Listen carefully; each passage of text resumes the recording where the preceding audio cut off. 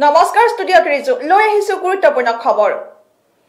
সহস্ৰাধিক জনতাৰ প্ৰতিবাদত কঁপি উঠিল টিংখাঙৰ ৰাজপথ। টিংখাঙক কলংকমুক্ত কৰাৰ দাবীত টিংখাঙৰ বিভিন্ন দল সংগঠনৰ ৰাজ্য কপোৱা এছ আই কেলেংকাৰী চি বি আই তদন্তৰ দাবীত বিধায়ক বিমল বৰাৰ নাম সাঙুৰ খোৱা ঘটনাৰ মাজেদি টিংখাংবাসীক লজ্জাজনক অৱস্থাত পেলোৱা বিধায়ক বিমল বৰাক তদন্তৰ আওতালৈ অনাৰ দাবীত সহস্ৰাধিক প্ৰতিবাদী জনতাই উত্তাল কৰি তুলিছে টিংখাঙৰ ৰাজপথ।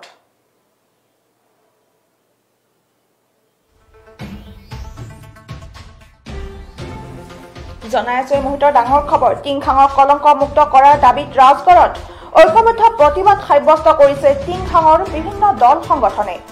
ৰাজ্য কপোৱা এছ আই কেলেংকাৰীত চি বি আই তদন্তৰ দাবীত টিংখাঙৰ বিধায়ক বিমল বৰাৰ নাম সাঙুৰ হোৱা ঘটনাৰ মাজেদি টিংখাংবাসীক লজ্জাজনক অৱস্থাত পেলোৱা বিমল বৰাক তদন্তৰ আওতালৈ অনাৰ দাবীত সহস্ৰাধিক প্ৰতিবাদী জনতাই টিংখাঙৰ ৰাজপথ উত্তাল কৰি তোলে। কা বিৰোধী ঐক্যমঞ্চ Tingkhang C P I M L অনপা A J P ৰাইজৰ দল আৰু কংগ্ৰেছৰ যৌথ উদ্যোগত প্ৰতিবাদী কাৰ্যসূচী ৰূপায়ণ কৰা হয়। যৌথ প্ৰতিবাদৰ আগতে প্ৰতিবাদী জনতাই স্থানীয় জুৰীয়া আই থানাৰ প্ৰেক্ষাগৃহত সমবেত হয়। ইয়াৰ পিছতে টিংখাং সমষ্টিৰ বিভিন্ন প্ৰান্তৰ পৰা অহা সহস্ৰাধিক জনতাই জুৰীয়া আই থানৰ পৰা টিংখাং ৰাজহ চক্ৰ বিষয়া কাৰ্যালয়লৈ প্ৰতিবাদী সমদল বাহিৰ কৰে।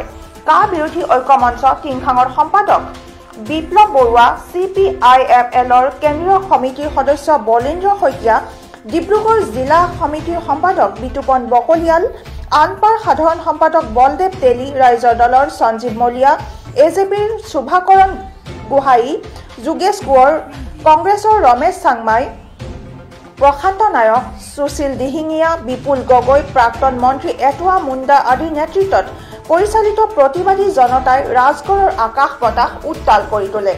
প্ৰতিবাদকাৰীসকলে এছ আই কেলেংকাৰীৰ চি বি আই তদন্ত কৰক টিংখাঙক কলংকিত কলংকমুক্ত কৰাৰ দাবীত বিমল বৰা মুৰ্দাবাদ টিংখাঙত বিজেপিৰ দাদাগিৰি নচলিব আদি শ্লোগানেৰে আকাশ বতাহ উত্তাল কৰি তোলে।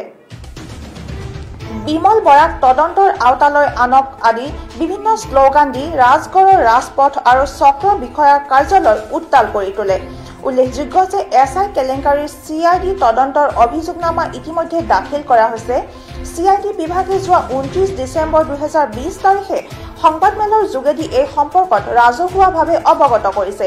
কিন্তু আচৰিতভাৱে এই অভিযোগনামাত কৰিমগঞ্জ জিলাৰ তদানীন্তন এছ পি সঞ্জিত কৃষ্ণই সংগ্ৰহ কৰা চল্লিছ লাখ টকা এই টকা লুকাই থোৱা সুব্ৰত চৰকাৰৰ সম্পৰ্কত একোৱে উল্লেখ নকৰিলে। গুৰুত্বপূৰ্ণ বিষয়টো হৈছে এছ আই পৰীক্ষাৰ পূৰ্বে গোপনে প্ৰশিক্ষণ শিবিৰ অনুষ্ঠিত কৰা টিংখাঙৰ বিধায়ক বিমল বৰা আৰু বৰক্ষেত্ৰী সমষ্টিৰ বিধায়ক নাৰায়ণ ডেকাক চি আই ডি বিভাগে সোধ পোছ পৰ্যন্ত নকৰিলে। ৰাইজৰ সচেতন নাগৰিক সমাজৰ এই কেলেংকাৰীৰ বিৰুদ্ধে মাত মতা প্ৰতিটো দল সংগঠনে চি আই ডি তদন্তক প্ৰথমৰে পৰা ভেকু ভাওনা বুলি অভিহিত কৰিছিল। যিটো এতিয়া সত্য প্ৰমাণিত হৈছে এই কেলেংকাৰীক লৈ দুৰ্নীতিৰ বিৰুদ্ধে যুঁজ অব্যাহত ৰখা তদানীন্তন স্বৰাজ অসমৰ মুখ্য আহ্বায়ক ভৱেশ সন্দিকৈয়ে কেলেংকাৰী চি বি আইৰ তদন্তত এখনি পত্ৰ দেশৰ প্ৰধানমন্ত্ৰী মহোদয়লৈ প্ৰেৰণ কৰিছিল। উক্ত পত্ৰখনিত তেওঁ এই কেলেংকাৰীত টিংখাঙৰ বিধায়ক বিমল বৰা আৰু বৰক্ষেত্ৰী সমষ্টিৰ বিধায়ক নাৰায়ণ ডেকা জড়িত থকাৰ কথা উল্লেখ কৰিছে। ত্ৰিছ ছেপ্টেম্বৰ দুহেজাৰ বিছ তাৰিখে কেন্দ্ৰীয় চৰকাৰে এই পত্ৰৰ প্ৰাপ্তি স্বীকাৰ কৰি ministry of personnel public grievance and পেঞ্চনৰ তৰফৰ পৰা ৰাজ্যৰ মুখ্য সচিবলৈ এই সম্পৰ্কত বিহিত ব্যৱস্থা গ্ৰহণ কৰিবলৈ যোৱা সাত জানুৱাৰী একৈছ তাৰিখে এক পত্ৰ প্ৰেৰণ কৰিছে। যিহেতু চি আই ডি বিভাগৰ তদন্তই এই কেলেংকাৰীৰ মূল ব্যক্তিজনক চিহ্নিত কৰাত বিফল হৈছে যিটো তেওঁলোকৰ অভিযোগনামাৰ মাজেদি প্ৰমাণ হৈছে। যোৱাকালি কাৰ্যসূচীৰ যোগেদি দল সংগঠনসমূহে কয় এই কেলেংকাৰী টিংখাঙৰ বিধায়ক বিমল বৰাৰ নাম সাঙুৰ হোৱা ঘটনাৰ মাজেদি ৰাইজৰ লগতে দেশৰ সন্মুখত টিংখাংবাসী ৰাইজ লজ্জিত হৈছে। টিংখাঙে আজি হাঁহি থকা নাই টিংখাং আজি লাজত মূৰ তোল কৰি থাকিবলগীয়া হৈছে। এই অৱস্থাৰ পৰা টিংখংবাসীয়ে মুক্তি বিচাৰিছে আৰু সেইটো একমাত্ৰ সম্ভৱ। এই কেলেংকাৰীৰ চি বি আই তদন্তৰ যোগেদি বিমল বৰাক তদন্তৰ আওতালৈ অনা। টিংখাঙৰ ৰাইজে সদায় এই কলংকাৰ বোজা লৈ থাকিব লাগিব নেকি? আজি পৰিত্ৰাণ বিচাৰিছে টিংখাঙৰ ৰাইজে। গতিকে চি বি আই তদন্তৰ বাবে ক্ষীপ্ৰ কাৰ্যকৰী ব্যৱস্থা গ্ৰহণ কৰি টিংখাঙৰ বিধায়ক বিমল বৰাক তদন্তৰ আওতালৈ আনি টিংখাঙক কলংকমুক্ত কৰিবলৈ প্ৰতিবাদী জনতাই দাবী জনায় এইদৰে। কাৰ্যসূচীৰ অন্তত কেইবাটাও সংগঠনৰ তৰফৰ পৰা ৰাজ্যৰ মুখ্যমন্ত্ৰী দেশৰ প্ৰধানমন্ত্ৰী আৰু গুৱাহাটী উচ্চ ন্যায়ালয়ৰ মুখ্য ন্যায়াধীশসকললৈ টিংখং ৰাজহ চক্ৰ বিষয়া মহোদয়ৰ জৰিয়তে পৃথকে পৃথকে স্মাৰক পত্ৰ প্ৰদান কৰা হয়। প্ৰশিক্ষণ শিবিৰ আমি তাৰ বিৰুদ্ধে আন্দোলন কৰোঁতে তেওঁলোকে গুণ্ডাগিৰি কৰিছে গতিকে বিমল বৰাক তদন্তৰ আওতাল আনিব লাগে। আৰু চবতকৈ ডাঙৰ কথা যে টিংখঙৰ ৰাইজে আজি এটা কলংকৰ বোজা লৈ থাকিবলগীয়া হৈছে। গোটেই দেশত গোটেই ৰাজ্যখনত টিংখঙৰ বিধায়ক যে এই কলংক মানে কলংকৰ দাগী তেওঁ যে ইয়াত জড়িত হৈ আছে এই কলংক আমি মোচন কৰিব বিচাৰিছোঁ আমি পৰিত্ৰাণ বিচাৰিছোঁ। আৰু সেই পৰিত্ৰাণ বিচাৰি আজি আমি প্ৰতিবাদী কাৰ্যসূচী ৰূপায়ণ কৰিছোঁ। আৰু ইয়াৰ পিছত আমি অহা পোন্ধৰ তাৰিখৰ ভিতৰত পঞ্চাছ হাজাৰ ভোটাৰে টিংখং সমষ্টিৰ পঞ্চাছ হাজাৰ ভোটাৰে আমি প্ৰতিখন গাঁৱত যাম ৰাইজৰ চহী সংগ্ৰহ কৰিম পঞ্চাছ হাজাৰ ভোটাৰে গুৱাহাটী উচ্চ ন্যায়ালয়ৰ হস্তক্ষেপ বিচাৰি আবেদন কৰিব এই কেলেংকাৰী চি বি আই তদন্তৰ দাবী।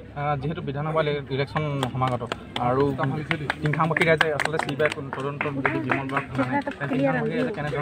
নহয় টিংখঙৰ ভোট এইবাৰ তালৈকে যাব যোনে এছ আই কেলেংকাৰী চি বি আই তদন্ত ঘোষণা কৰিব।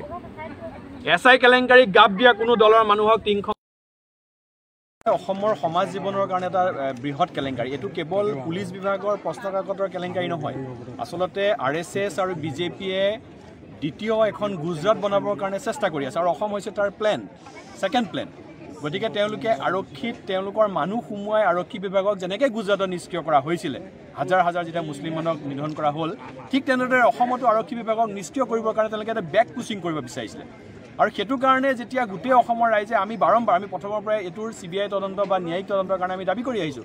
কিন্তু চৰকাৰে তাৰ প্ৰতি গুৰুত্ব প্ৰদান কৰা নাই। কাৰণ যদি গুৰুত্ব প্ৰদান কৰে যদি সঁচা যদি সঁচাকৈ ইয়াৰ উচিত তদন্ত হয় তেতিয়াহ'লে ইয়াত বিয়াগুম বিয়াগুম নেতা মন্ত্ৰী এই কেলেংকাৰীত জড়িত আছে এইটো প্ৰমাণ হৈ যাব।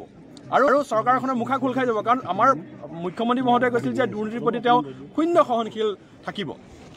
এতিয়া আচলতে তেওঁ দুৰ্নীতিৰ প্ৰতি নহয় দুৰ্নীতি বিৰোধী আন্দোলনৰ প্ৰতিহে তেওঁ শূন্য সহনশীল হৈ আছে। যি কৰা কৰি থাক মই মোৰ মতেই চলিম।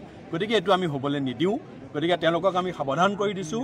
ৰাইজে এইটো মাৰ পাহৰি যোৱা নাই আৰু একৈছত আমি ইয়াৰ প্ৰতিশোধ ল'ম। আমি টিংখঙক যি কলংক কৰিলে তেওঁলোকে এই কলংকৰ পৰা মুক্ত কৰিবলৈ আমি যিকোনো প্ৰচেষ্টা হাতত ল'ম আৰু একৈছত আমি ইয়াৰ হিচাপ ল'ম। শোভাকৰণ আছে তাৰমানে আমাৰ সৰু সৰু এইবিলাক সঞ্জীৱ মলীয়া আছে। মানে ডাঙৰ মাছ অসমৰ সমাজ জীৱনৰ কাৰণে এটা